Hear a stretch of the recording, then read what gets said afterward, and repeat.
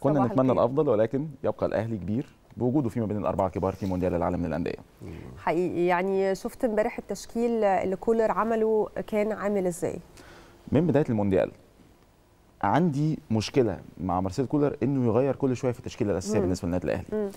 ريال مدريد إحنا عارفين من بداية الموسم إنه هيلعب بمين مم. ما بنقولش إنه خلاص كده ده مقروء أو أسلوبه محروق بيغير من جوه مم. لكن مش كل مباراة تحس إنه كفريق كرة يد مثلا مش فريق كرة قدم إنه أنا بغير الطريقة أو ال- اللعيبة اللي بيلعبوا على الطريقة علشان أحسس الفريق اللي قدامي إنه أنا المباراة اللي فاتت مش هم هم نفس اللعيبة فأنا هعمل لك لخفنه يعني أو احس أحسسك بإرباك مم. ده مش صح مارسيل مم. كولر ما قدرش المباريات كيفما يشاء بالطريقة السليمة مم. اللي من خلالها إنه يلعب بمجموعة من اللاعبين زي ما لعب في المباراة الأولى. زي ما لعب في المباراه الثانية يقدر ان هو بنفس التشكيلة بس يغير من الداخل مش لازم ان هو يغير مجموعة من اللاعبين لأن في بعض اللاعبين كان لازم إنها تبدأ المباراة زي مثلا آه، حسين الشحات ماشي بشكل كويس. ومحمد هاني إيه؟ آه، محمد هاني ماشي بشكل كويس. مم. آه ارهق في مباراة ريال مدريد مم. ما قبل مباراة فلامينجو بس ابدأ بيه. مم. خد اللي عنده بعد كده انزل بخالد عبد الفتاح كبديل.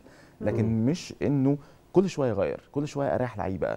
الاعتماد على بيرسي تاو بشكل كبير قوي بيرسي تاو مش هو اللاعب اللي يديك كلاعب أساسي. مم. خليه بديل يكون أفضل.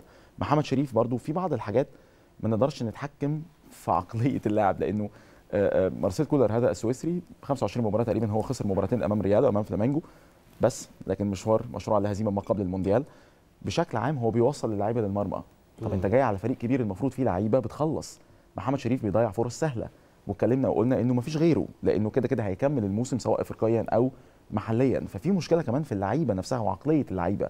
إزاي ما يخلصش فرص سهلة؟ في مباريات كبيرة المفروض تخلص. فيها أنصاف الفرص هي مجموعة متكاملة أو صحيح. حلقة متكاملة كان لازم تبقى الأفضل في هذا المونديال